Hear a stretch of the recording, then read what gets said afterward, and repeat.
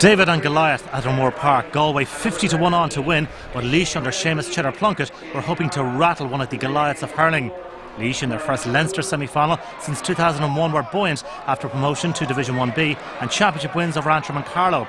And they made a whirlwind start, scoring the opening two points before Zane Keenan recorded this effort to make it three points to no score with four minutes on the clock. With Galway in slumber mode, it soon got better for Laois. Willie Hyland adding to a dream start for the home team. Four points to no score. A flying start by the home side. Joe Canning was given licence to roam and he pointed a free to get Galway off the mark after nine minutes. He then struck this fine point to leave it a two point game. Four points to two in favour of Laois.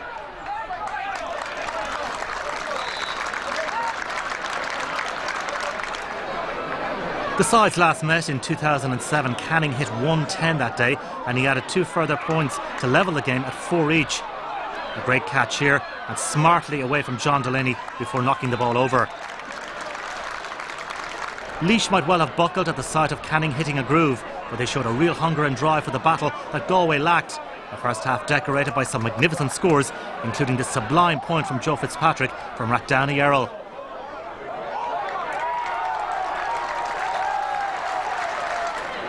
And the home side thought they'd opened up a three point lead through Fitzpatrick. Consultation soon followed. Referee James Owens went in to check on deliberations before the judgment came. Wide ball. Galway through Niall Burke notched the final point of a highly competitive first half to lead themselves a point adrift at the interval. 8-7 to Laois, who left the pitch to a standing ovation.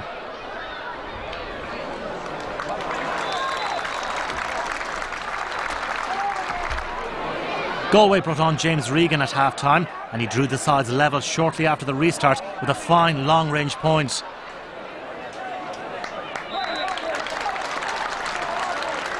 And by the 48th minute, Laois had surrendered their lead. Damien Hayes guiding Galway into a two point advantage, 11 points to 9.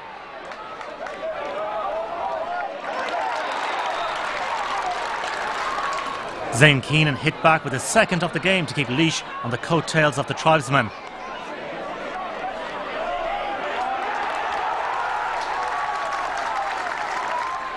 With the vast majority in the crowd of over 5,000 roaring them on, Laois struck for a goal. Sub Neil Foyle collected before slipping the ball to Tommy Fitzgerald, who drilled the ball past James Skehill. Laois in front again, 110 to 12 points. But that lead was short lived as Galway responded in devastating fashion.